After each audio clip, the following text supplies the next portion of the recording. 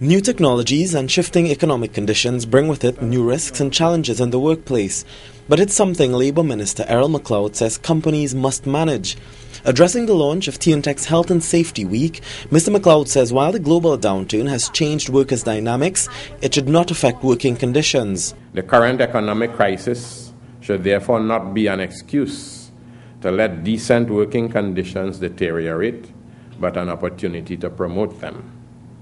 Now more than ever, emphasis must be placed on the protection of the most valuable resource of the enterprise, that is, the human resource.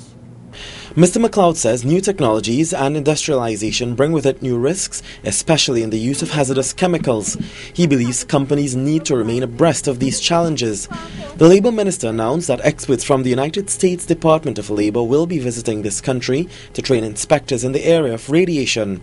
Meanwhile, Public Utilities Minister Emmanuel George says companies must understand the social impact of health and safety in the workplace.